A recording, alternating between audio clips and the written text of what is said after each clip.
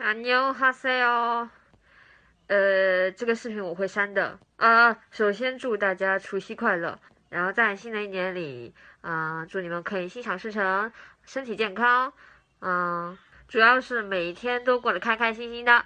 然后这个视频我会删的，为什么呢？因为等一下我要录给你们看我的国字脸。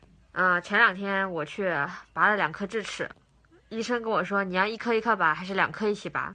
我说我要两颗一起拔，长痛不如短痛是吧？然后其实我拔完之后，因为我的智齿在肉里，就是主主生牙齿，它以后呃什么什么我也不清楚。然后反正就是是做那种小手术，然后把我牙齿拔出来之后，呃，本来应该是拔完那一天再加上。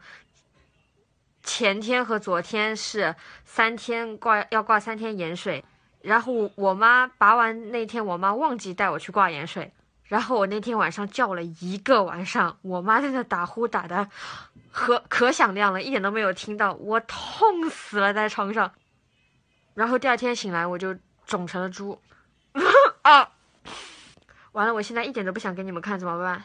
我拿下来了，啊啊啊！啊痛痛！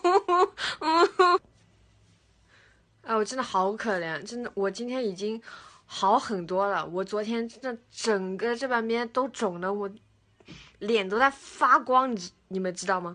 然后我现在又没有化妆，反正这个视频会删的。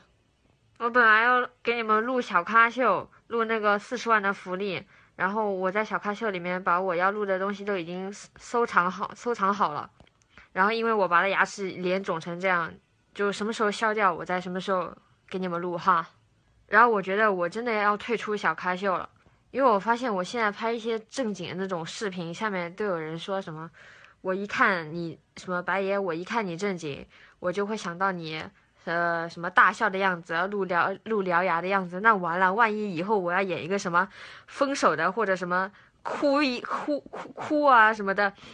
我记得好几次，我有那些特别需要内心戏的那个戏份，我演完之后，猫叔拍了两下他的大腿，笑死了他。我很认真的在演。然后我刚刚在群里抢了个红包，两轮我都是垫底，第一轮是六分，第二轮是一块二。好了，我继续去看春晚了，拜拜。